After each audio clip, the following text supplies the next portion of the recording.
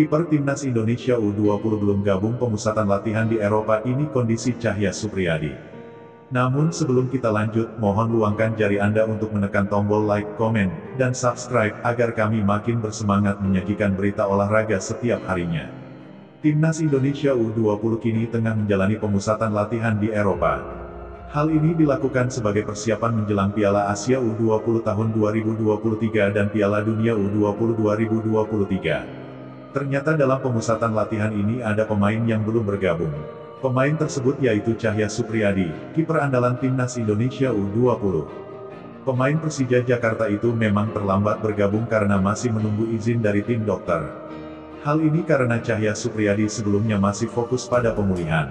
Sebagaimana diketahui Cahya Supriyadi sebelumnya mengalami cedera saat membela timnas Indonesia U20 dalam ajang kualifikasi Piala Asia U20 2023 bulan lalu.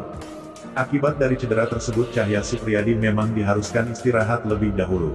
Namun, dipastikan pemain muda milik Persija itu akan menyusul rekan seperjuangannya yang saat ini sudah berada di Turki. Asisten Timnas U20 Indonesia, Nova Arianto memastikan bahwa Cahya bakal menyusul ke Turki. Sebab ia menjadi salah satu dari 34 pemain yang mendapat panggilan ke Timnas U20 Indonesia untuk menjalani TC ke Eropa. Tim Merah Putih akan menjalani TC di dua negara Eropa yakni Turki dan Spanyol. Cahya dipastikan akan segera menyusul ke Turki. Untuk Cahya dia akan gabung pada tanggal 25 Oktober tahun 2022, ujar Nova Arianto saat dihubungi awak media. Setelah tiba di Turki Cahya juga akan ikut rombongan untuk melanjutkan TC ke Spanyol.